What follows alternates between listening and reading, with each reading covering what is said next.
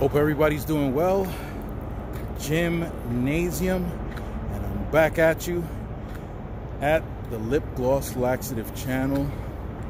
Welcome back.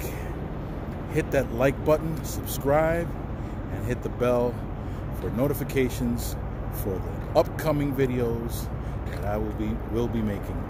So today I kept it at 15 a clip.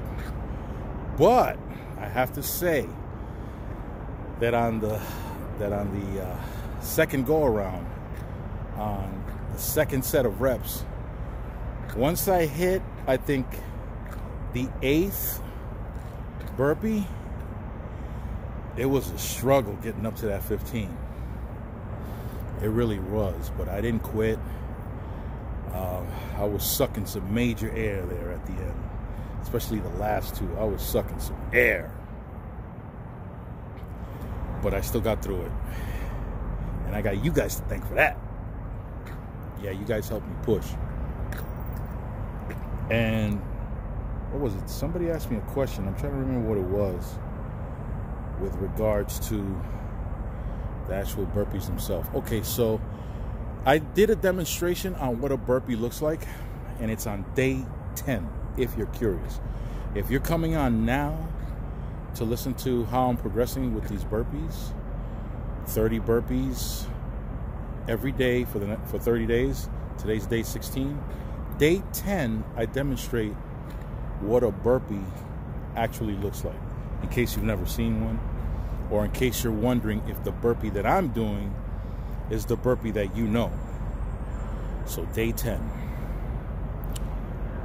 Uh, another challenge today was that one of the drivers, and this isn't uncommon, drivers sometimes bring their pets along, typically dogs. And this one driver had a German Shepherd that he had out. He had it on a leash and he had it tied alongside his truck. But that dog was paying a whole lot of attention to me while I was doing my burpees. And I was getting real nervous. I was hoping that while I was uh, doing a push-up, the dog didn't get loose and come after me or something like that. That would have been crazy. But uh, that didn't last very long. Thankfully, um, he came and brought his dog back into the back into the truck, and I felt a little better after that. Not a hundred percent better because I didn't know if that dog would push the door open and come running out. But he didn't.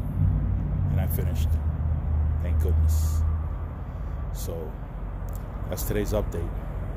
After 30 days, you're not going to see my face quite as often, but you'll be seeing me nonetheless.